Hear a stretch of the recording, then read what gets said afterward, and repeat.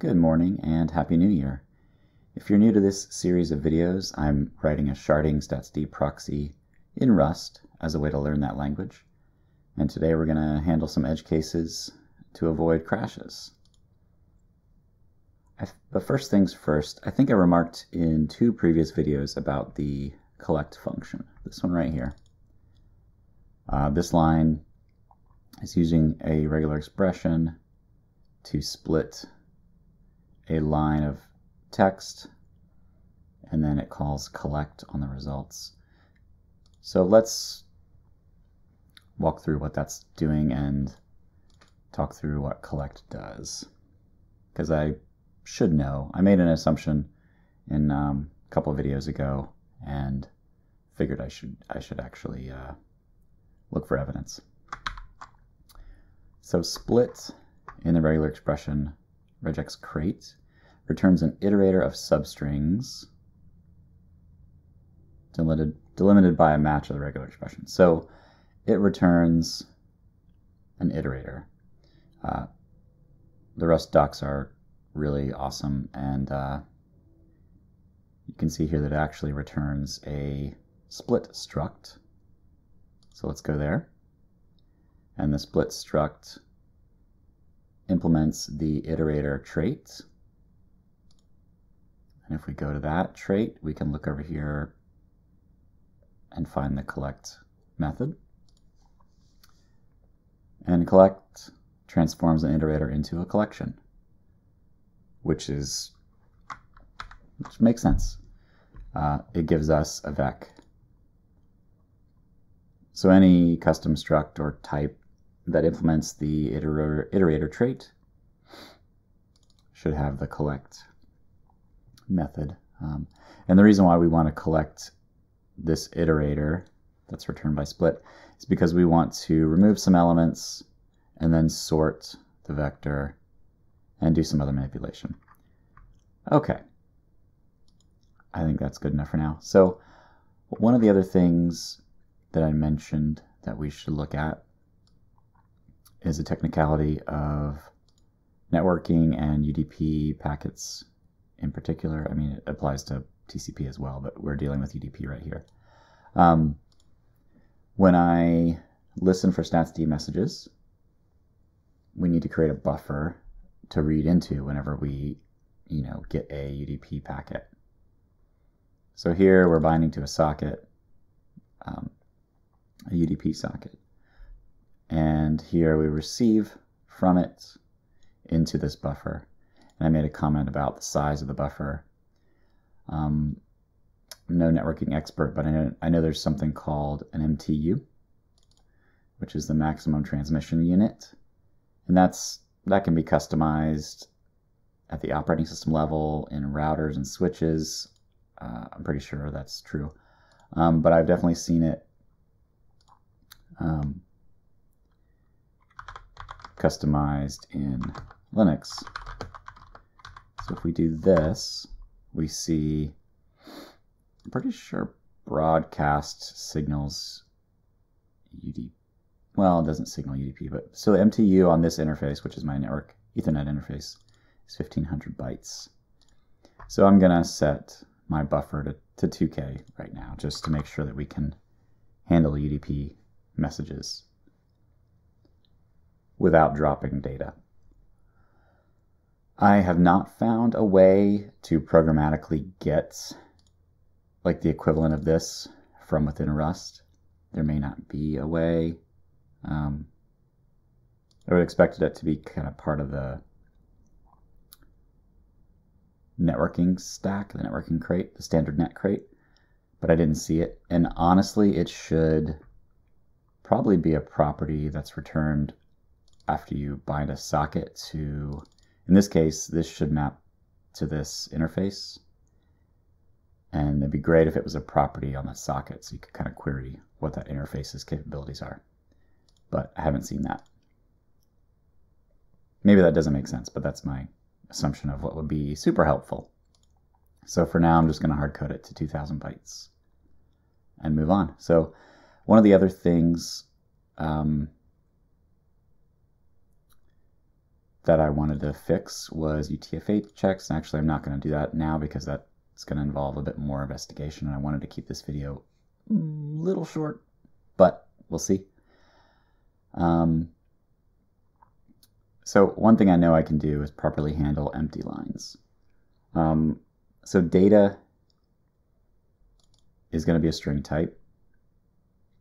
And here we use the lines method to split and let's go ahead and look at that. Let's pull up the primitive type string, and here we see the lines function it returns an iterator over the lines of a string as string slices. Lines are ended with either a new line or carriage return new line. Okay. It's good to know. So it's going to return a string, and then what we need to do is handle the length.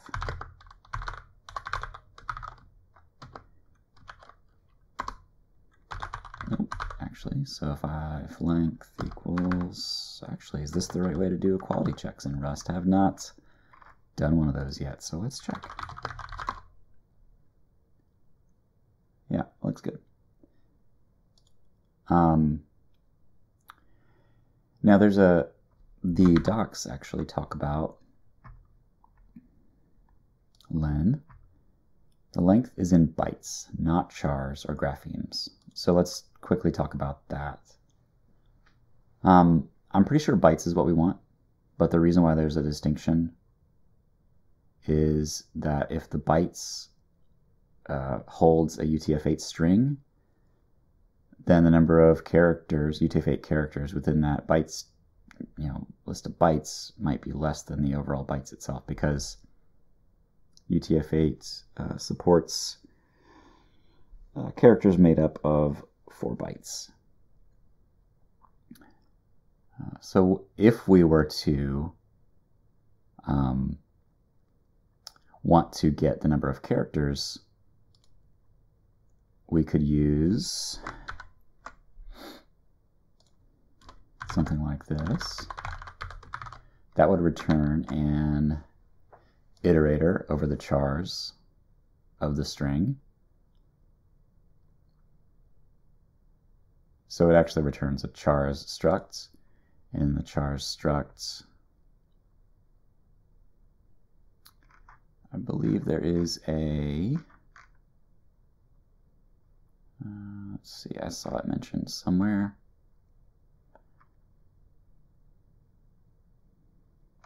There's a count function. I'm not sure where it's actually implemented at.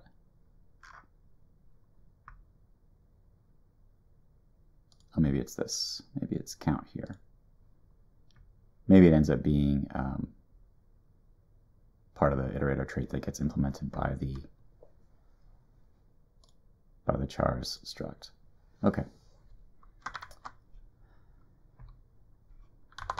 So we would do something like this and that would um, cause Rust to interpret the line string as chars, and then count the number. But we don't want to do that because really the presence of any byte at all uh, indicates that we have something to parse. We've got some message that's come in, and hopefully it's valid but we're not going to check for that right now. We'll, we'll assume the best just to keep this project rolling. All right, so if line len is zero, let's uh, let's print something out. And we do that with println bang. Pretty sure it's just doubles. Yep. Skipping empty line. All right. Let's see if that still builds. Nope. All right, continue is not. Oh, maybe it was because of that. Okay.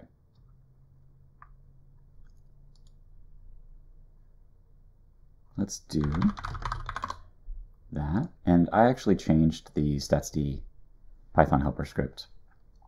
If you don't, if you recall, this emits some statsd messages to basically this location so we can test. I refactored it a bit where I could, so I could present a list of messages and just have it loop over them all and send them all each second. Um, the first two tests are what we've already seen before, where I just send one message in the UDP packet, then I send two messages in the UDP packet delimited by a new line. And then last time I ran some tests with trailing new lines and it crashed because we weren't handling, handling empty lines correctly. Now I also want to add test with two empty lines, trailing and not trailing. And then also since the lines function can split on carriage return new line or carriage return line feed, we want to test that as well. So this one has two messages delimited by slash r slash n. All right, let's test that out. And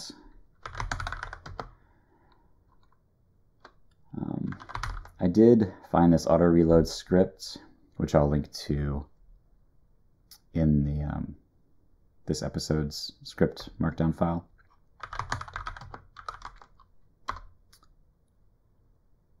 Yep. Okay.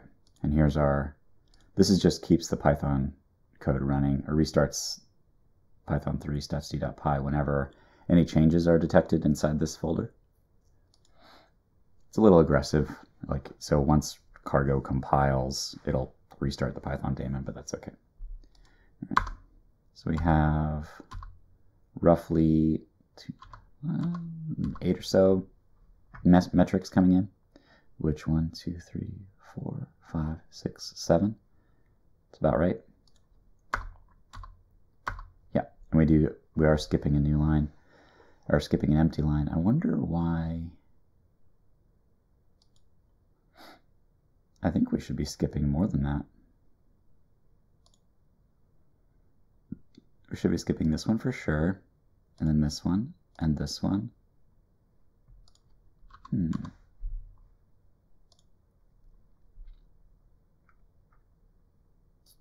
What is going on there?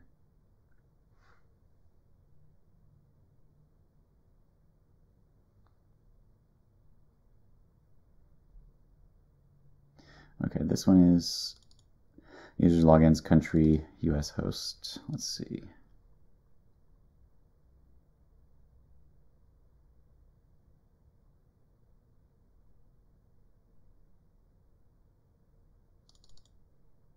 Is it just this one that ends up being skipped?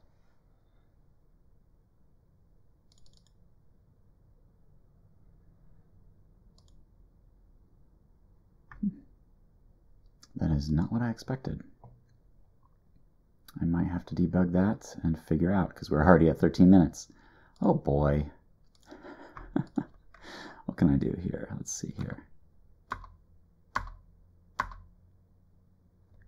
Yeah, let's stop this so I can get a good picture of what's going on.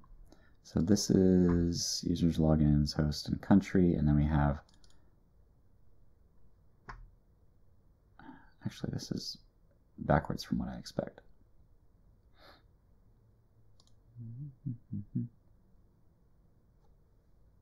Am I even getting these? Yeah, I think so. I should probably uh, just do this. Two, three, four, five. Actually, this is part of five as well. And this one is part of 2. Let's just do that for ease here. Well, that's not supposed to happen. I think this is interfering. Oh, good God. Give me a minute.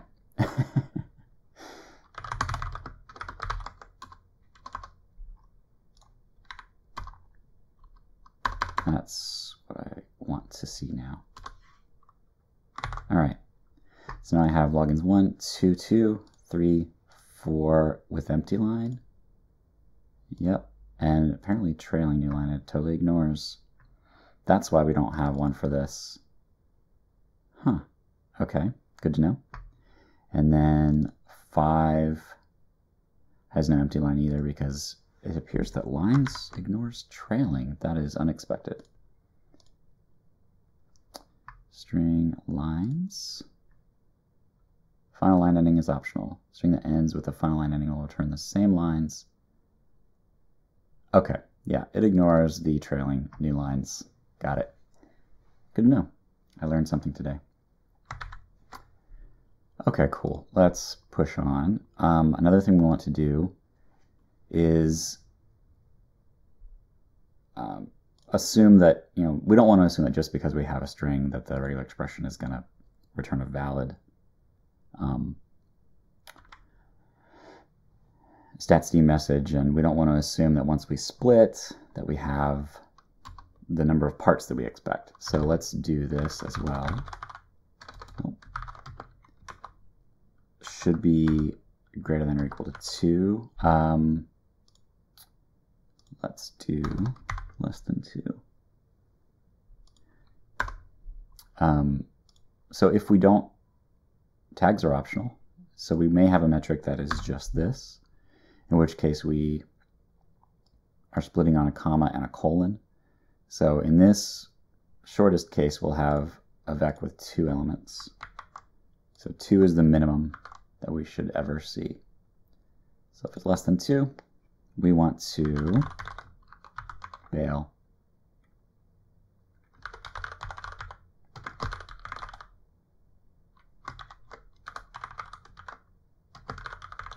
Um, let's see.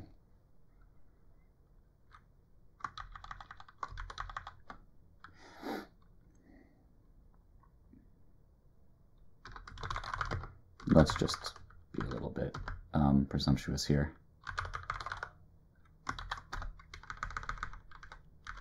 And do that. Cool. All right, now I need to test that, and then we'll be done. Let's see, let's expand this. Oh, that's not, not right. There we go.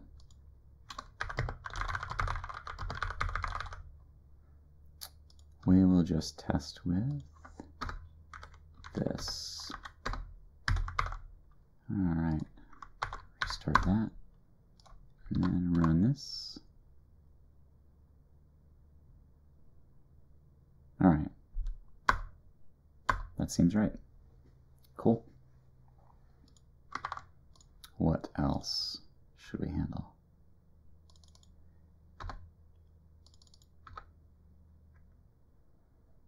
I think that's it for now. That may not have been interesting, but uh, we learned a few things about what methods are available and what they do. And it's also very helpful to understand that lines uh, squashes trailing new lines. All right, thanks for watching. See you next time.